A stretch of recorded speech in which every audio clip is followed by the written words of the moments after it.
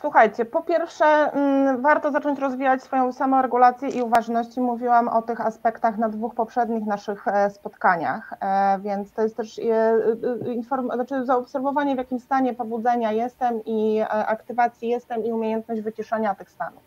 Kolejną bardzo ważną rzeczą, zwłaszcza teraz w czasie pandemii, kiedy ciągle chodzimy w maseczkach i jest, mamy dużo pracy zdalnej siedzimy przed kamerami, pozostajmy w kontakcie Zachęcajmy zespół, inne osoby do tego, żeby w trakcie spotkań po prostu włączyć kamerę i być w kontakcie twarzą w twarz, a jeżeli nie, to przynajmniej zachowywać miły, e, odpowiedni ton głosu. Kolejną taką rzeczą, którą naprawdę można zrobić i którą żeśmy zrobili już na samym początku dzisiaj, to oddychajmy. E, znajdźmy kilka jakichś e, sesji oddechowych, w internecie tego jest mnóstwo ale skupmy się też na tym, żeby wydech był dłuższy niż wdech, bo dłuższy wydech powoduje, że uspokaja się nasz układ nerwowy, między innymi nerw e, błędny się wycisza. E, słuchajcie, kolejną taką ważną rzeczą to bawmy się. Bawmy się, spędzajmy czas z bliskimi, e, ze zwierzętami również, tańczmy, śpiewajmy. W pracy biznesowej też dajmy sobie czas trochę na to, żeby pożartować, trochę się powygłupiać.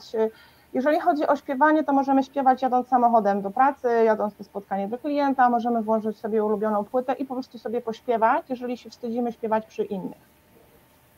E, kolejną taką ważną jest, rzeczą to jest spacerujmy, e, poruszajmy się, ma być umiarkowana, e, umiarkowany wysiłek fizyczny, więc to nie musi być jakiś mega silny wysiłek, wystarczy nawet 5-10 minut e, spokojnych ćwiczeń. Ja takie krótkie, fajne ćwiczenia pokazywałam, zdaje się, na pierwszym spotkaniu, też możecie je stosować.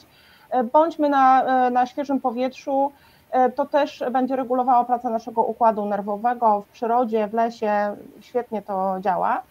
I wysypiajmy się, E, zadbajmy o tą higienę snu. E, I na moim, na moim blogu możecie przeczytać kilka właśnie też artykułów na temat tego, jak to zrobić, jak dobrze wstać. E, I żeśmy dzisiaj z mm, Grzegorzem podkreślali o tym, i Grzegorz mówił o tym, że jeżeli wstaniemy niewyspani, no to cały dzień będzie trudny.